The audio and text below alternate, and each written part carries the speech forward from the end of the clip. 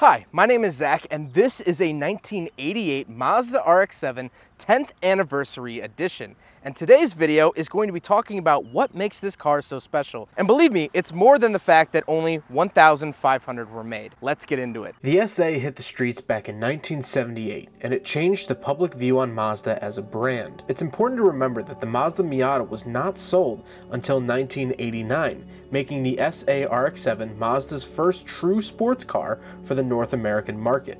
The RX-2 and the RX-3 were used for racing, but they were based off the Mazda Familia, which was a family car. Mazda's first rotary was the Cosmo 110S, which was a dedicated sports car, but it was never sold in North America, and never sold in high volume. When the RX-7 came out, it was a hit, selling almost 400,000 units between 1978 and 1985. In 1988, Mazda wanted to celebrate a successful decade of making the RX-7, so they came up with the 1988 10th Anniversary Edition.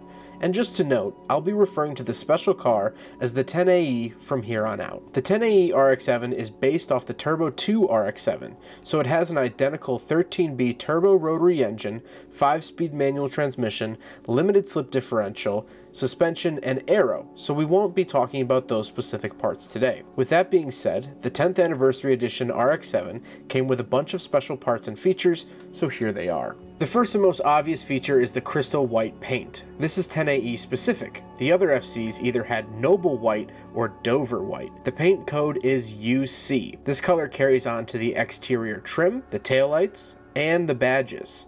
All other FCs had black trim and black taillights. The wheels are 16 inch alloy wheels, and while they are the same pattern as the standard Turbo 2, they are finished in the 10AE crystal white paint.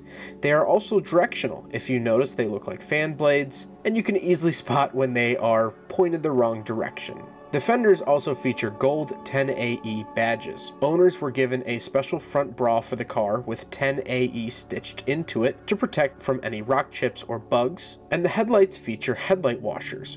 Worldwide, this is not a big deal, but the 10AE is the only FC sold in the US to get headlight washers, so it was a big deal for us Yanks. All 10AEs have black leather interiors, which are really hard to find throughout the entire run of the FC.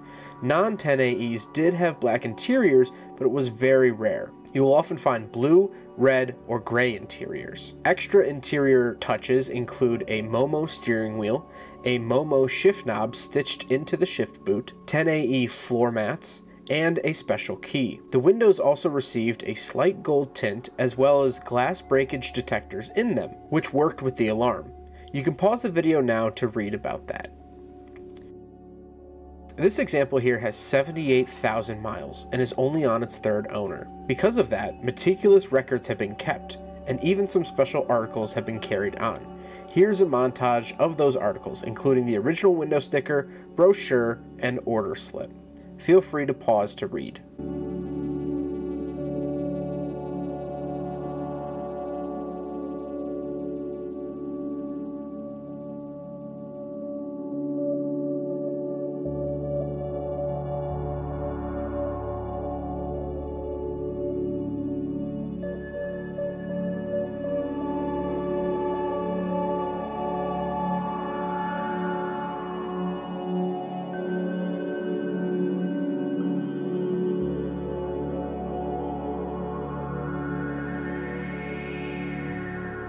So that's what makes the 10AE RX-7 so special. Not many people get to experience this special car.